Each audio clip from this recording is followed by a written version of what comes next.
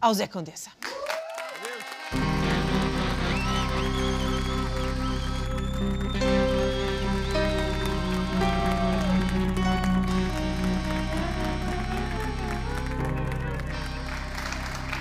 E então, o camarãozinho estava bom? Está ótimo. Estava ótimo. Ana é muito uma bela bem. companhia. Sim, senhora. Muito bem. Estás pronto, Zé? Pronto. Prontíssimo. Vamos lá. Então vá, Zé, ah, quantas nudes recebes numa semana, em média? Vá. Ui. Eh, Fazer contas. Queres calculadora? não os conto. Não não abro. contas. Mas são muitas. São, são algumas, são algumas. Mais de homem, mais de mulher? Mais de homem. Mais de homem. E que tipo de nude? Eu não as abro. Ah. tu sentes logo quando aquilo vem assim com uns emojis. Vai saltar. Sabes logo que vai. Já abriste uma ou outra? Já, já, já. E já. o que é que te saltou à vista? Eh, Tudo, não é? Tudo. Tudo. Pois. Tudo o que estava antes escondido, que não devia ter saltado à vista, saltou. Muito bem. Pronto. Ahm, por, por falar nisso, já que falamos em nudes, a, a. TVI coloca, volta e meia, algumas imagens tuas em tronco nu. aham. Ah, Sentes-te o Ruben Rua da ficção? Ah, não.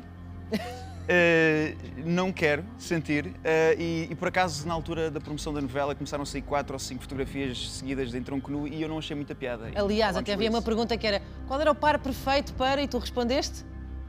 Eu não me lembro se era uma camisa, uma Uma t-shirt. t-shirt, precisamente. Claro, porque Era não, não, não gostava nada de ser conhecido como. Aquele gajo que está sempre nu. Não gostava de ser eh, pelo exterior, sabes? Pois. Ah, até porque não, não é assim que eu vejo que um ator deve ser. Não é um mau exterior?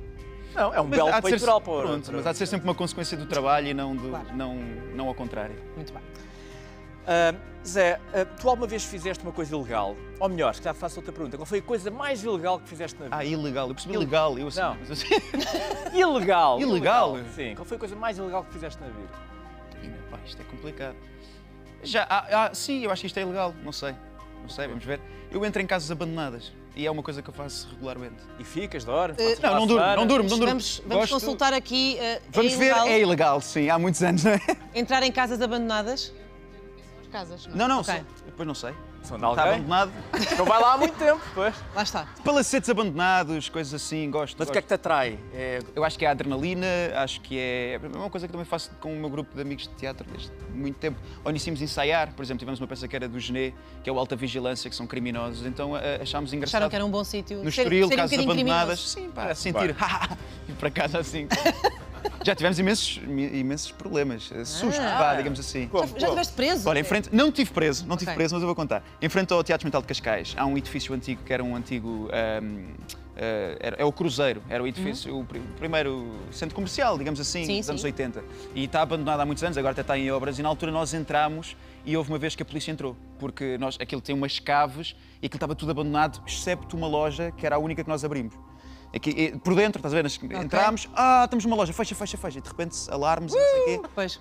E espero que a polícia que nesse dia não nos conseguiu encontrar, não Sabe venha agora. agora ao Instagram uma... Menino, Pá, uma já espera em casa. Se chegares a casa, já sabes. Muito bom. Pá, eu tenho casos, acho que é uma nude e não abro, não abri, não vi.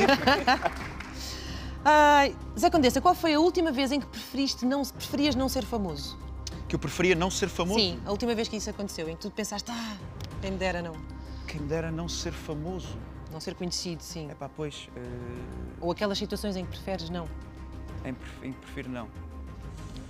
Não sei, pá, isto deve ficar um bocado, um bocado pesado para aqui, mas sei lá, sempre que tu perdes alguém que é especial para ti, Hum. alguém morre, é um bocado chato. Acho que não há uma noção do espaço. Uhum. Acho que por aí. Zé, Vai, levantem isto. Exato, vamos, vamos, Vamos, vamos, isto. vamos, Quem vamos. foi a pessoa mais canastrona que já viste em cima de um palco? Em cima de um palco? Sim, em sin- sinceridade, ok? Sinceridade. Pá, isto é complicado. Eu tenho um, um hábito horrível que é ver sempre uma parte boa das pessoas. E isto não é, é aquela resposta que eu disse, nah, eu quando estiver ali nunca vou dizer uma coisa destas. Qual foi a pessoa que tiveste mais dificuldade em encontrar essa É encontrar essa dificuldade. Essa dificuldade, essa qualidade. Qualidade. Ih, não, pá, isto é muito complicado. Sem medo. É muito complicado. Pá, já top. tive muitos colegas meus, isto vai ser muito chato, da escola de teatro que não saem bons atores e que tive que contracenar com eles, que vocês não vão conhecer os nomes, por isso é um bocado chato, mas normalmente é- são eles. Ok. Porque hum, há uma coisa muito engraçada que eles diziam, desculpem estar a dizer isto, mas é que a escola de teatro às vezes não forma bons atores, mas forma boas pessoas. E isso é uma coisa importante. E bons espectadores e bons profissionais de trabalho. Mas pronto, podem também- ser calhar bons atores, mas são boas pessoas. Isso é como aquilo diz, a culpa não é tua, é minha, não é? não é tua, é minha. Não és tu, sou eu. Não. Zé Condessa, Sim. adormeces em todo lado, ouvi dizer. Qual foi o sítio mais inusitado onde já adormeceste? Eu dormi em todo o lado. Dormi... Olha, no outro dia, no meio das gravações de exteriores, dormi, adormeci no meio de uma rotunda. Adormeci. Isto também deve ser ilegal, não sei, se calhar não é. Adormeci. Acho que a lei, a lei é omissa no que toca a dormir e rotunda. Sim, pá. Porque acham que ninguém se lembrou disso. Mas vão fazer agora uma lei dizer que é proibido. É proibido, mas podes fazer, mas é proibido, mas podes fazer. Exato. Vai Muito ser- bom. eu dormi todo lado, todo lado. Eu fiz um voo, eu fiz um voo de que foram escalas de 15 horas em que eu consegui dormir 14. E a senhora disse assim: Eu nunca vi ninguém dormir assim. Eu acordei, tinha, tinha amendoins, tinha copos de água, tinha tudo. Sim, Olha, já chegámos. Sim, Muito bom. saia. Terminamos com preferias. Uh, Vamos a isso, vamos a isso. Ah, Zé, fazes sempre. ah, isto é um preferias. Preferes ah, fazer sempre as melhores peças de teatro, mas para ganhar a vida vais ter que vender Bíblias Ok. para o resto da vida? Ou ir para Bollywood, ser uma das maiores estrelas, mas passavas os filmes inteiros a dançar danças indianas? Não, fazer teatro. Fazer, Fazer teatro Com Bíblias. é isto mesmo. Sim, essa parte faço teatro. Já chega. Pronto, foi a pessoa no ar. Ao Zé Condessa. Pronto.